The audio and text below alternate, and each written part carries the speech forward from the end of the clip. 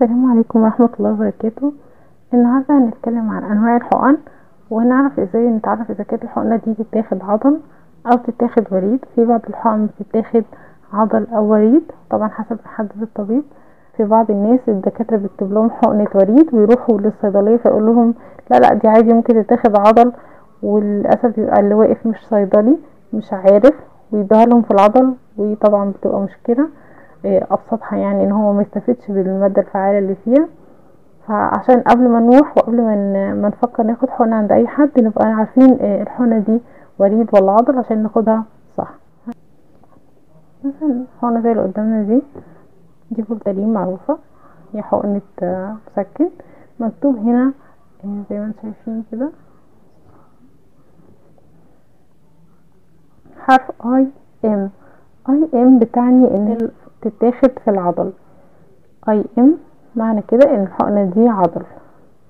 هنجد هنا مكتوب هنا كمان IV يعني كمان ممكن تتاخد في الوريد يبقى الحقنة دي ممكن تتاخد عضل أو تتاخد وريد لو لقينا على الحقنة بس IV بس يبقى هي تتاخد وريد بس ما ينفعش تتاخد عضل. لو لقينا مكتوب عليها IM يبقى يبقى الحقنة دي عضل ما ينفعش تتاخد وريد هنشوف نوع تاني كمان مكتوب فيه. كل أنواع الحقن بيبقى مكتوب فيها IV أو IM مكتوب اهي هحاول أوضحها. أيوه هنا مكتوب for IM IV injection يعني الحقنة دي اليونيكتام دي معروفة مضاد حيوي بتتاخد عضل أو بتتاخد وريد للاتنين. يعني تنفع كده أو تنفع كده مفيش منها مشكلة. وبرده العلبة نفسها بيبقى مكتوب عليها اهي. حط عليها خط اهي.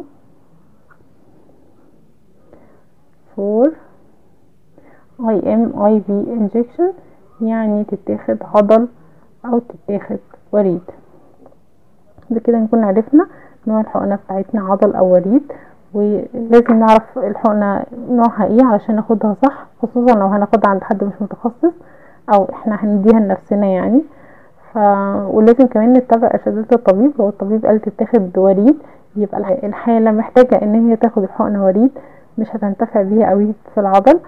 آه ولو قال عضل يبقى عضل زي ما هو زي ما الدكتور شايف وزي ما الدكتور طالب إحنا هنعمل بالظبط. ويتمنى الله لكم الشفاء العاجل ودائما الصحة والعافية. مع السلامة.